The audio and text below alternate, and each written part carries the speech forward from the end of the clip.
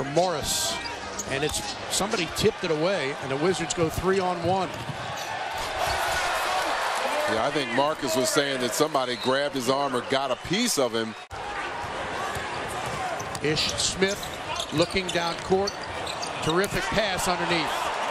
Boy, that was a great pass by Leuer. His balance.